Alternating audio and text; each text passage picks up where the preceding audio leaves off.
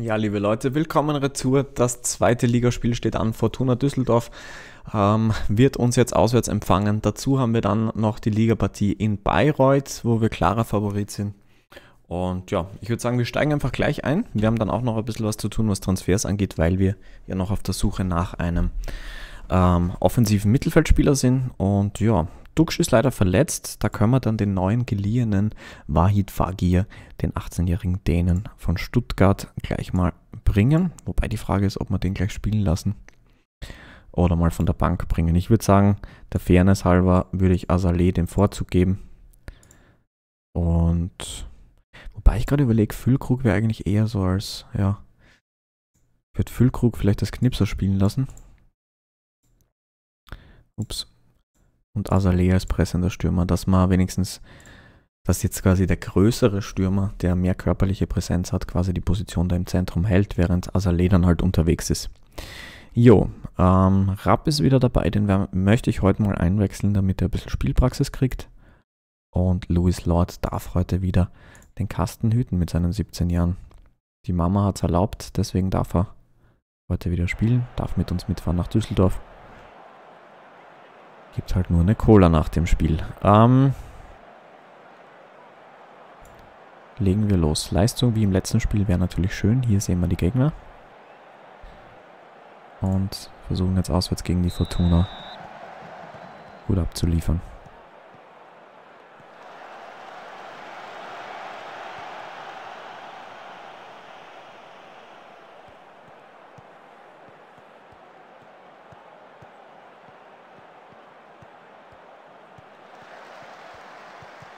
Christoph Klara, auch spannender Innenverteidiger, Österreicher, habe ich mir auch kurz überlegt, bei Sturm Graz zu versuchen zu verpflichten. Habe mich dann für jemand anderen entschieden oder zwei andere Österreicher. Ich möchte noch nicht zu viel verraten. Den Beta Safe werde ich euch ja irgendwann dann wieder zeigen, wenn sich wieder was getan hat. Vielleicht in der Winterpause dann wieder. So, Leonardo. Uh. Erste gute Chance. Hennings haut ihn drüber. Lord mit dem Abschlag. Ein Baumer Füllkrug, der ist gut, aber Winkel ein bisschen zu spitz. Und Argo hat es versucht.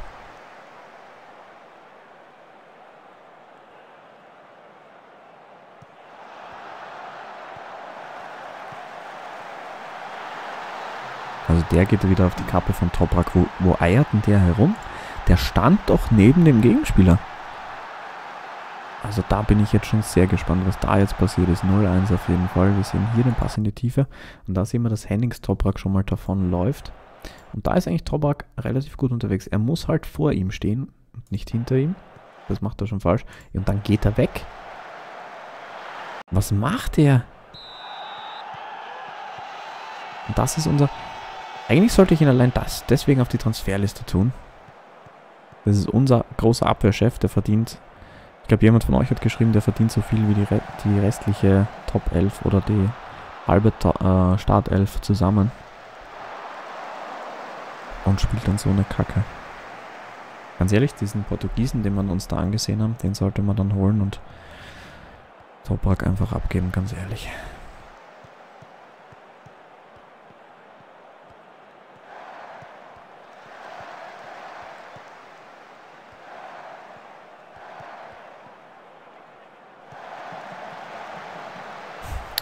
Komischer Versuch. Also, da ist unser 17-Jähriger sogar zu abgebrüht für das. Schmidt, Füllkrug, gut gemacht. Füllkrug, Agu. Aber da konnte er jetzt natürlich nicht hochflanken, wie wenn da ein Duxch gewesen wäre.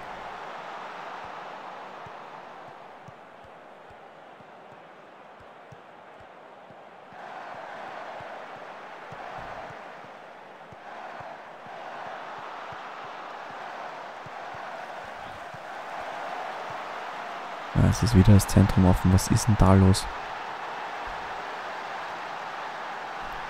0 zu 2, 9. Minute. So, jetzt müssen wir wieder mal wirklich analysieren hier. Also hier sehen wir mal, dass der Gegner generell es schafft, sehr, sehr viele Leute, oder eigentlich ist es eher ein bisschen ein Risiko, sie schieben sehr viele Leute hier in diesen Raum. Also für Konter anfällig, aber dadurch schaffen sie hier halt eine Überzahlsituation. Ähm, Ja, von der Zuordnung her, wenn Schmidt hier steht, kann Hamza hier stehen und ein Bomb da. Dadurch ergibt sich jetzt halt, ich meine, Weiser muss das auch checken und muss dann auch näher nach in die Mitte schieben. Aber er hat halt auch Lelo da hinten. Übrigens, Leonardo Lelo, unser Ex-Spieler, glaube ich zumindest. Und dass der dann halt so reingeht und der dann so gut trifft, da ist dann halt Louis Lord machtlos, meiner Meinung nach. Aber, ja, katastrophaler Start mit zwei individuellen Abwehrfehlern. Ich persönlich werde jetzt, glaube ich, wirklich das Pressing bei den Verteidigern raustun, damit sie diese Positionen ein bisschen besser halten. Azale. Oh, da war die kurze Ecke offen und trotzdem bringt er den so zentral.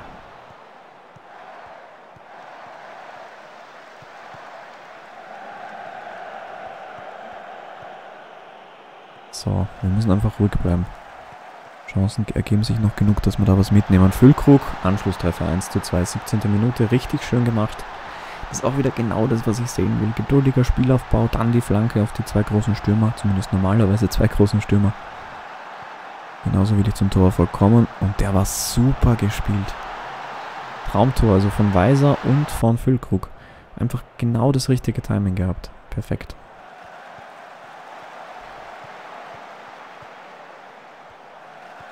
Zimmermann macht mit Agu auch, was er will. Friedel, Agu. Lord mit dem Abschlag, der war gut. Azaleh. Füllkrug. Wieder Agu. Kein guter Pass, aber Füllkrug kriegt ihn dann plötzlich von Christoph Klara. Und da hätte es beinahe schon gereicht für den Ausgleich. Deswegen sage ich ja, uns sollte man da nicht abschreiben.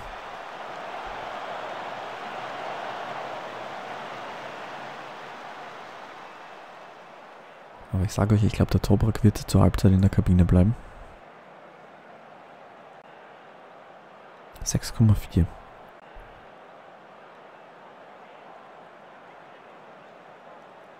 Ja, wie ich schon gesagt habe, Felix Agu, der wird von Zimmermann da immer wieder vernascht. War nicht wirklich gut.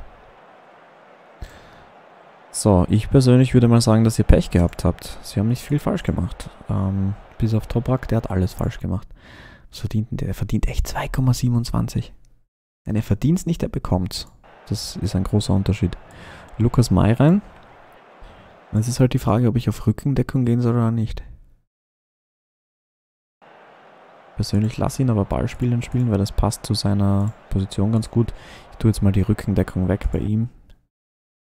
Velkovic Stellungsspiel ist super. Den kann ich auf Rückendeckung spielen lassen. Machen wir so. Dann machen wir klassisch Innenverteidiger auf Rückendeckung und Mai, wenn er diese Rolle hat, geht er sowieso ein bisschen mit nach vor. Das passt dann schon. Dann ist Velkovic eigentlich perfekt für diese Position. Mit diesen mentalen, sensationellen Fähigkeiten dann passt das ganz gut. Und Toprak kommt dann gleich auf die Transferliste. Das Problem ist, ich weiß nicht, ob wir den wegbekommen. 32 Jahre alt, diese Gehaltsforderungen können schwierig werden. So, Schmidt mit der Ecke, 62. Minute. Und die geht hauchdünn vorbei. Lukas May war da dran. So, ähm, was könnte man noch machen? Ich bringe den Anthony Jung für Agu, der heute nicht gut war. Und ich bringe den Fagir gleich mal rein für Azaleh, weil Fagir ja immer auch körperlich ein bisschen was mitbringt hier. Ähm, und dann lasse ich die beiden tauschen. Alter. So dass dann Füllkrug die Presse in der Stürmerrolle macht.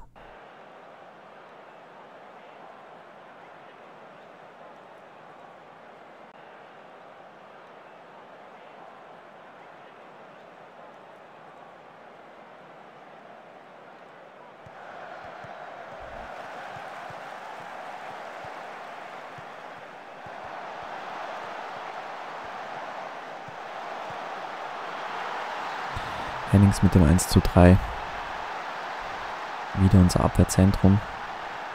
Ich würde Lord jetzt eigentlich wieder keinen Vorwurf machen, um ehrlich zu, zu sein. Also meiner Meinung nach darf das hier generell nicht passieren, dass du im Abwehrzentrum da so ein Ding kassierst. Er startet gut. Mai hebt es abseits auf, weil er das ein bisschen verpennt. Und damit dann der Treffer der jetzt, ja, ganz ehrlich, jetzt nicht so unverdient ist, wenn man sieht, wie kaltschmatzig die da sind. Wir gehen auf insgesamt offensiv Wir haben jetzt nicht viel zu verlieren. Ich persönlich würde sagen, dass die beiden mitgehen sollen. Wir müssen das Risiko jetzt gehen. Wir werden halt noch höher stehen. Noch aggressiver draufgehen. Und dann werden wir sehen.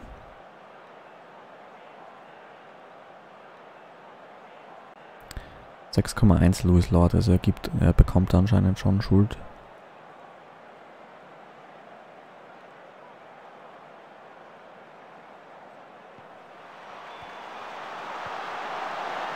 Eins zu viel. Ja, jetzt ist es zu hoch. Also geht absolut in der Höhe meiner Meinung nach nicht in Ordnung. Schauen wir mal, ob man da Louis Lord wieder ein bisschen mit Schuld geben kann. Ja, eigentlich, ja, er hat ihn, er hat ihn darüber gewährt. 6,0er Note. Damit wird er wohl gegen, äh, im Pokal, ja, im Pokal gegen Bayreuth kannst du ihn schon spielen lassen. Aber, ja, das ist nicht gut genug gewesen.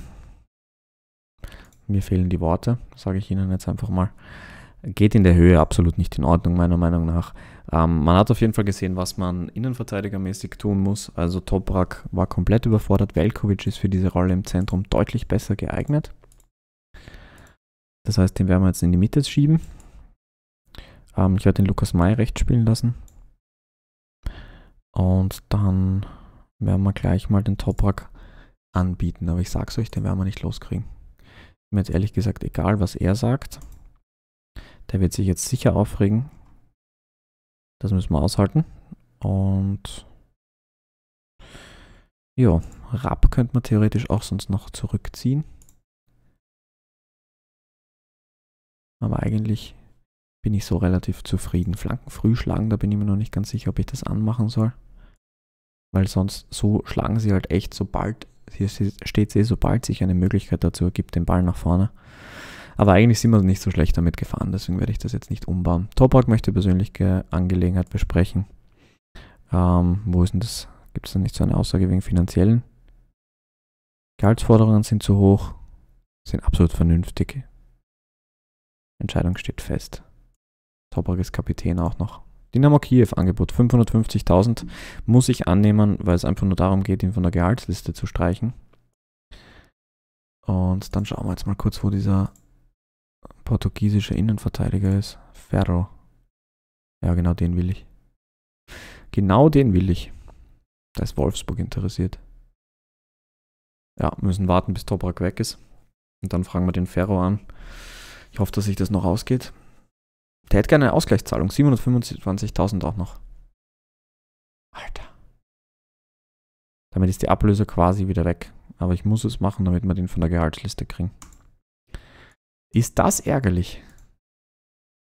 Das sind halt diese Verträge von den Vorgängern, die man halt dann ausbügeln muss. Aber das bringt uns im Endeffekt schon viel, weil der hat bis 2023 Vertrag. Der, ja.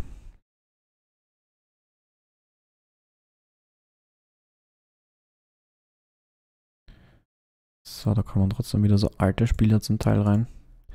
Immer Bayreuth als nächsten Gegner. Die spielen auch Fünferkette.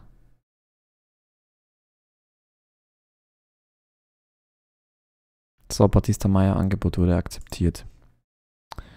Rotationsspielergehalt wird deutlich erhöht, also das kann ich schon mal nicht versprechen. Er hätte gerne eine Ausstiegsklausel in der Höhe von 2,9. Der Rest ist okay. Ich würde sagen, wir streichen mal die Klausel. Gehen hier auf 30 Spiele. Den Rest lasse ich ihm. Hätte er gern trotzdem mehr, dann gehen wir auf 30 Spiele und versuchen einfach das hier noch ein bisschen runterzuhandeln auf 500.000 nach 30 Spielen. Drei Jahre. Das wäre schon absolut in Ordnung. Wenn es klappt, dass wir den bekommen, wäre ich natürlich super zufrieden. Anzahl der Mitarbeiter aktualisiert, Trainerstab haben sie verkleinert, Scout haben sie verkleinert. Okay. Ja, ein Baum entwickelt sich gut.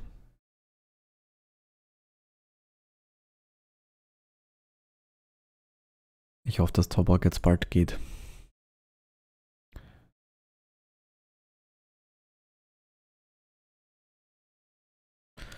Jung, Lebensmittelvergiftung. War der, Tön der Döner nicht ganz durch? Boah, jetzt hätte ich echt Lust auf Döner. Uh, der ist gut. Den scouten wir gleich.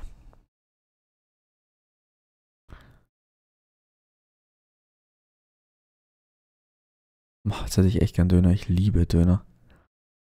Wobei ich Dürüm fast noch geiler finde. Ich finde, dass das, das Fleisch-zu-Teig-Verhältnis einfach viel besser. Seid ihr eher Dürüm oder äh, Döner-Fans? Bei uns sagt man eigentlich eher Kebab und nicht Döner. So, jetzt freue ich mich schon auf die Partie. Ich hoffe, dass Batista Maya noch kommt. Dass Toprak noch geht und dass wir dann endlich diesen portugiesischen Innenverteidiger anfragen können.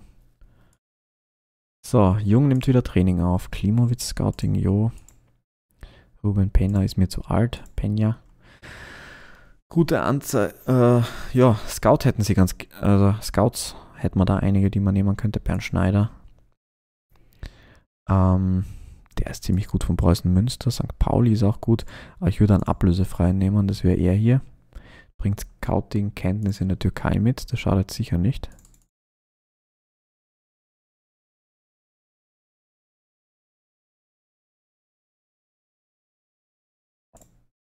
So, schauen wir mal. Nantes macht ein Angebot für Grenier.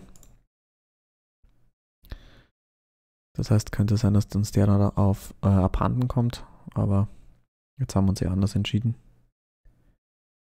Komm schon, Batista Meyer. Ach, gehofft, es geht sich aus, dass ich den vielleicht schon im Pokalspiel spielen lassen kann. Aber leider nein. Toprak besser trainieren. Argo muss auch besser trainieren, das geht ja gar nicht. Er denkt, dass Tobak nicht aus dem Verein gedrängt werden soll. Hamza trainiert nicht gut. Unsere Neuverpflichtung. Ups. Letztes Spiel kritisieren wollte ich nicht. Ah, da kann ich das Training noch nicht kritisieren. Das ist noch nicht lange genug da. So, wir sehen die ersten Ergebnisse. Die Eintracht musste in die Verlängerung sogar.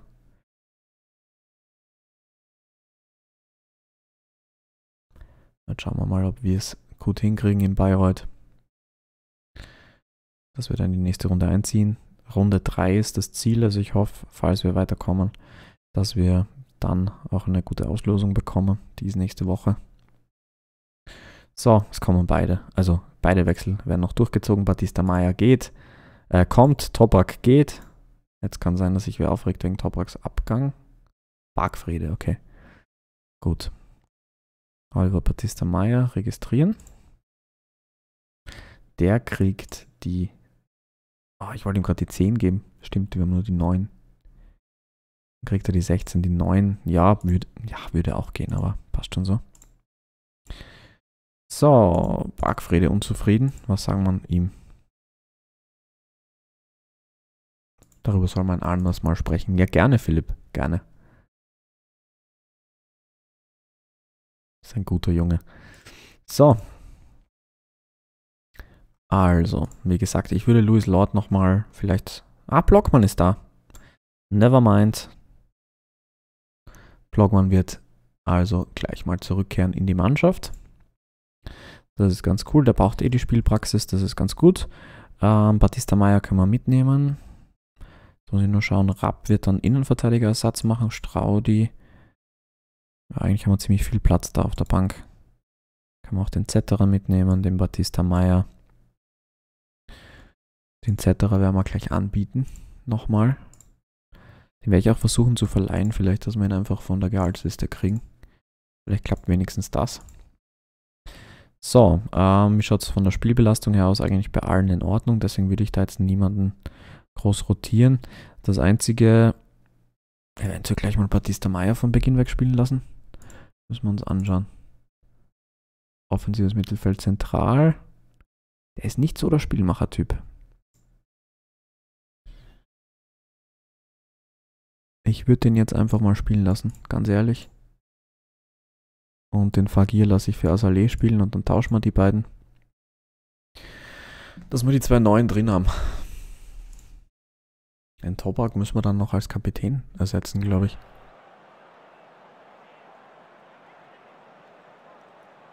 will eine deutliche Leistungssteigerung sehen. Let's, let's go. Let's go.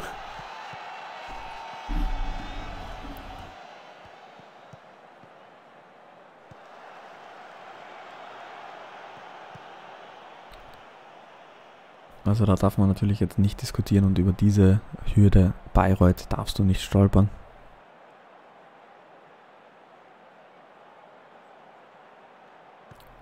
Jetzt habe ich euch rechts unten noch die anderen Spiele eingestellt. Könnt ihr dann immer mitschauen, wenn geladen wird. So, Fagir, Agu, Hamza. Batista Meyer hat es gleich mal versucht. Füllkrug.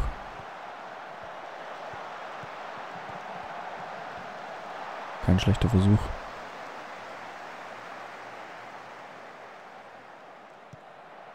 Boah, der, das wäre so typisch gewesen, wenn der dann plötzlich einen Freistoß reinhaut.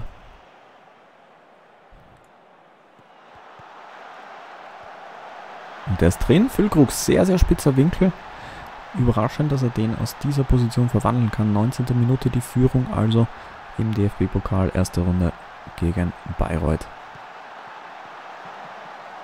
Also ich glaube, unsere Außenverteidiger werden ordentlich viele Assists machen in der Saison. Ich nehme jetzt dieses Flankenfrühschlagen raus. Probieren wir es mal ein bisschen ähm, mit mehr Kombinationen. Füllkrug mit dem Freistoß. Der ist drin. 2-0. Ausgezeichnet. Kann man schon ein Lob in die Runde werfen. Damit sieht das Ganze schon deutlich besser aus hier. Füllkrug hat den richtig gut getroffen.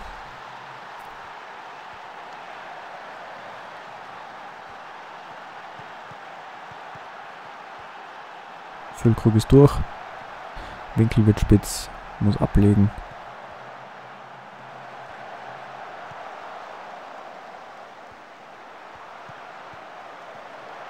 Ja, wir halten den Druck hoch. Uh, keine gute Aktion von Agu. Und dann verletzt er sich hier bei diesem Tackling. Äh, den Jung habe ich eigentlich jetzt nicht auf der Bank. Dann muss halt Straudi links hinten spielen. Also erster Wechsel, verletzungsbedingt. Ja, wenn er den Ball nicht so blöd verliert, muss er nicht in das Tackling gehen. Selber schuld. Hilft uns jetzt natürlich auch nicht weiter die Schuldfrage. Uh, sag hier.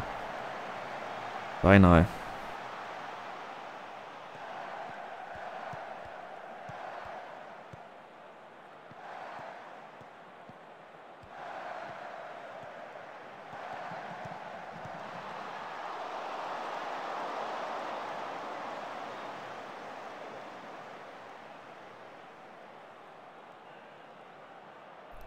Also im Moment alles ruhig. Gegner kommt kaum in die Offensive. Und damit der absolut verdiente Halbzeitstand von 2 zu 0. Ihr macht das großartig weiter so. Kein Grund was zu wechseln. Ich muss nur kurz checken. Okay, kann auch 5 Wechsel machen. Ich glaube ja, dass sich dann umstellt, was mich total nervt. Dass man dann nach der, in der zweiten Saison nur noch dreimal wechseln darf. Ich finde, das sollten sie jetzt einfach überall so beibehalten. 5 Wechsel macht, macht schon was her. Du senkst auch die Belastung für die Spieler sorgst dafür, dass auch junge Spieler häufiger Einsatzzeit kriegen, weil es halt dann oftmals einfach noch Möglichkeiten hast zum Schluss, wo du dann junge bringen kannst, die du vielleicht sonst gar nicht mehr gehabt hättest. Also gibt eigentlich nur Gründe dafür, finde ich.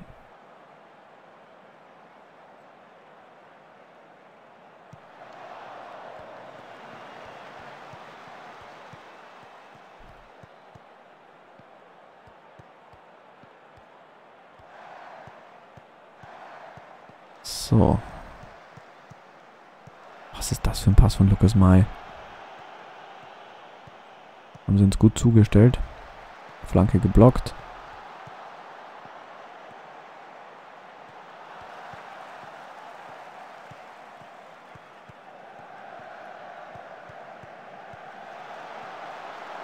Ja, Blockmann zum Glück auf der Hut. Kein Problem für ihn. Batista Meyer heute nicht wirklich gut, 6,4.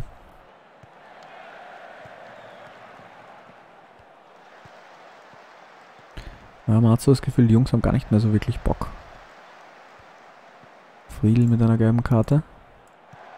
So, Füllkrug. Bagier, knapp drüber. In der 70. werde ich dann noch äh, wieder einen Doppelwechsel machen, glaube ich. Wird man ein bisschen überhastet. So verschenkt man den Ball halt wieder.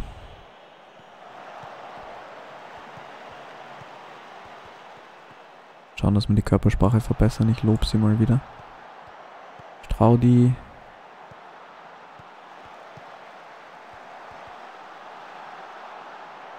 Warum mit dem Versuch aus der Distanz? Da hat er sogar den eigenen angeschossen scheinbar. Da gab eine Torwiederholung. Nein, heißt das, wir kriegen gerade eins? Natürlich. Ernsthaft. Sieht gerade ein bisschen verpackt aus. Jetzt kriegen wir es eigentlich erst. Aber es ist wieder so einfach durchs Zentrum. Das ärgert mich schon. Jetzt ist wieder die Wiederholung. Zum Glück hat das jetzt nicht doppelt gezählt oder so. Das wäre auch wieder so typisch gewesen. So ein FM-Bug, der richtig nervt dann.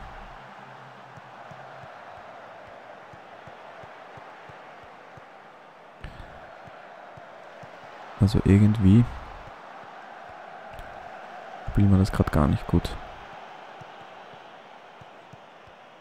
Wirklich Probleme da hinten rauszukommen.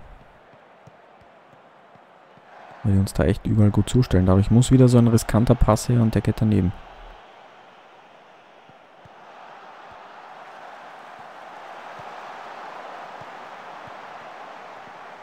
Ärgert mich, dass man das so unnötig spannend macht hier. So, wir müssen jetzt wechseln. Füllkrug ist auch schon müde. Ich bringe Azaleh vorne rein äh, Stoßstürmer, dann tun wir das Flanken äh, halt einfach wieder rein, dass wir die Bälle schneller nach vorkriegen. Ich bringe den Schmidt vorne für Batista Meyer, der jetzt noch nicht so überzeugt hat. Und dann bringen wir auch den Philipp Bargfriede rein. Achso, den Rapp wollte ich auch noch bringen. Wechseln wir halt komplett durch. Damit Rapp auch endlich mal wieder ein bisschen Spielpraxis sammelt. So, Weiser mit der Ecke. Und Schmidt ist da. Erste Ballberührung, 3-1, es zählt. Bin schon wieder ein bisschen beruhigter. Boah, das würde mich ärgern als gegnerischer Trainer. Der kommt am Fünfer komplett frei. Zum Abschluss mit dem Fuß sogar.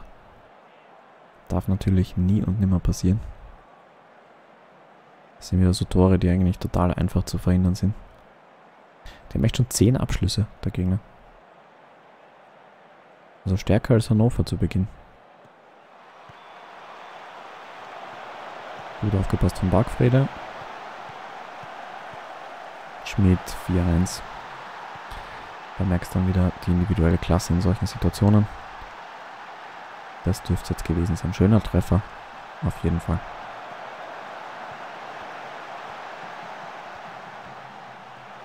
Und Rapp mit einem Assist. Schön gemacht.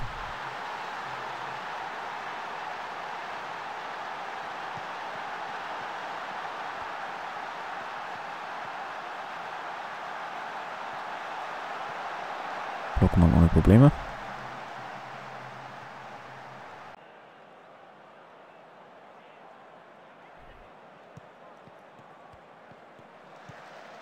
Sehr schön gemacht. Fragier.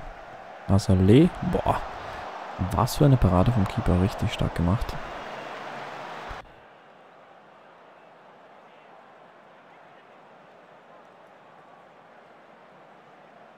Nochmal eine Ecke für die Gegner. Mai klärt sie. Nicht fürs Erste. Das soll es jetzt eigentlich gewesen sein. Das war's hier. Also 4 zu 1 im Endeffekt Gesamtscore. Es war kurzer Zeit ähm, richtig, richtig spannend und knapp. Unnötig spannend, muss man auch dazu sagen. Aber wir haben es geschafft auf jeden Fall. So Modest braucht man nicht. 39-jähriger Stürmer, weil Modest noch zu jung war, braucht man erst recht nicht. So, der ist eigentlich am Flügel zu Hause. Valenzuela kann aber auch im Zentrum spielen. Und der möchte seinen Vertrag anscheinend nicht mehr verlängern dort. Achso, Scouting kostet dort was. Dann lassen wir das. Seoane. Genau, Realjugend. Daher kenne ich den. So, Argo verletzt, ein bis drei Tage, zum Glück nichts Tragisches. 175.000, auch nicht unwichtig. Rapp mit seinem Debüt. Ja. Füllkrug gut in Form. Und mit Schmidts Doppelpack sollte man auf jeden Fall zufrieden sein, natürlich. So, jetzt schaue ich noch kurz, was sich wegen Toprak tut. Das ist jetzt eigentlich der erste richtige Tag nach Toprak. Da müssen wir normalerweise eben die Kapitänsbinde neu vergeben.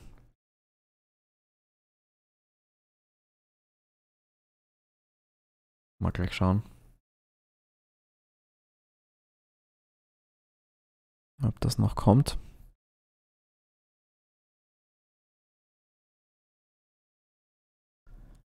Ach so, und ähm, dann werde ich noch das Angebot für den Portugiesen machen. Das darf ich nicht vergessen. Wo ist denn der drin? Ferro, da ihn. Wolfsburg und jetzt ist auch Real Sociedad an ihm dran. Das wird, das wird hart. Angebot machen, 450.000. Die Summe ist auf der Transferliste. Jetzt schauen wir, was er gehaltsmäßig will. Ich weiß gar nicht, wie viel wir haben, habe ich jetzt nicht geschaut. Aber nicht viel. So, Bremens Angebot wurde akzeptiert.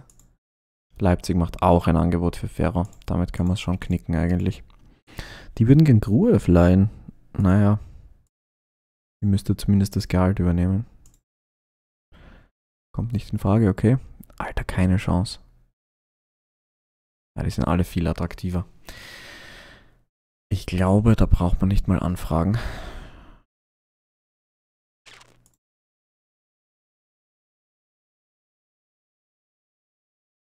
Aufstiegsklausel ist jetzt gar nicht so dramatisch, wobei ich die schon höher drehen würde auf 30 oder so. Ähm, dann hätte er gern 900.000. Gehen wir vielleicht auf 25 Millionen runter.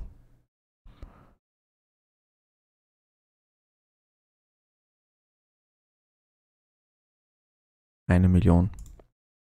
Hätte der gerne. Ist noch immer halb, nur halb so teuer wie.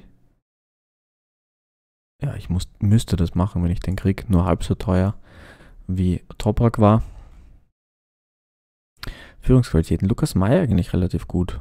Bittencourt ist absolut, ist aktuell Vizekapitän. Den könnte ich jetzt natürlich nach oben ziehen.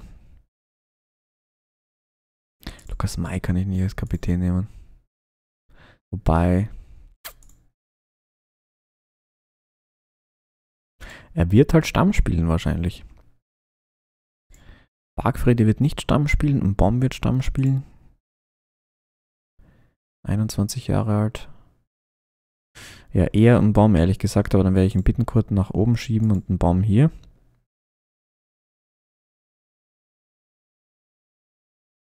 Das wäre jetzt lustig, wenn Bittenkurt sich aufregt, dass ich ihn als Vize absetze. Kam da gerade der Hinweis, dass das passieren könnte. So. Ich hoffe jetzt echt nicht, aber wenn Leipzig auch dran ist, habe ich ja keine Chance, den zu holen. Der wird nicht zu uns wechseln. Da müssen wir noch überlegen, wen es dann auch als Alternativen gäbe.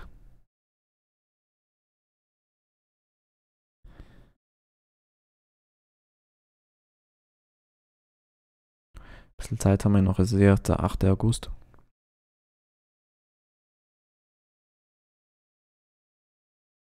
Was machen wir eigentlich mit Pavlenka? Vertrag läuft aus. Ah, der reagiert fix nicht gut drauf, wenn wir den hergeben. Aber das wäre so einer, wo ich auch sage, okay, den Vertrag lassen wir dann auf, auslaufen wahrscheinlich. Aber ich habe ich hab Pavlenka nicht gerne. Es ist ein richtig guter Keeper, aber ich schätze halt einfach, dass wir den nicht verlängern können, allein finanziell.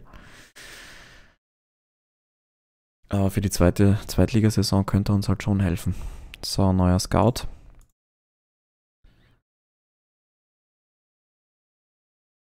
Vielleicht hat er eine Empfehlung für uns.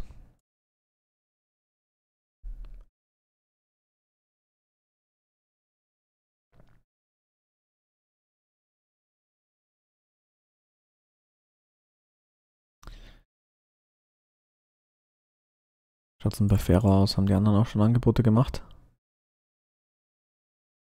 Leipzig drückt sich gerade noch ein bisschen, was die Summe angeht. Wolfsburg starkes Interesse, Eintracht und Real Sociedad nicht ganz so tragisch. Schauen wir mal. Aber das könnte sich halt noch ziehen. Das wäre ärgerlich. So. Simons Luga. Guter kroatischer Keeper.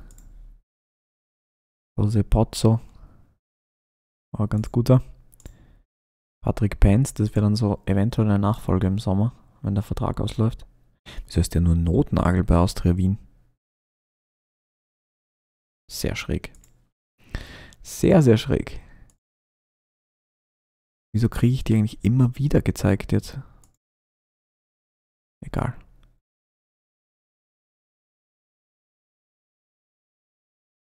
Bin von der Zeit her schon wieder drüber.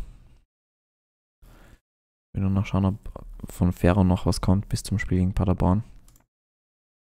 Aber ich glaube nämlich nicht.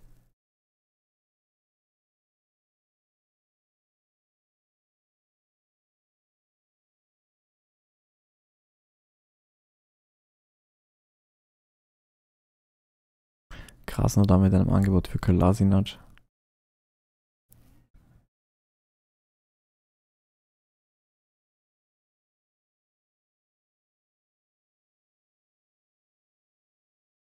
Na gut, Leute, ich werde jetzt einfach da den Cut machen. Dann würde ich sagen, sehen wir uns im nächsten Part wieder. Bundesliga-Duell gegen Paderborn. Und ja, dann werden wir sehen, wie es in der Verteidigung weitergeht. Spielerisch sind wir eigentlich nicht schlecht unterwegs. Ähm, sagte er gerade nach einem 1 zu 4. Aber ich glaube, ihr wisst, was ich meine. Ich glaube, wir sind auf einem ganz guten Kurs. Ähm, mit guten Torhütern würde das auf jeden Fall wahrscheinlich noch besser hinhauen als mit dem 17-Jährigen. Und ja, wir werden sehen, wie es läuft. Vielen Dank fürs Einschalten. Bis zum nächsten Mal. Bleiben wir optimistisch.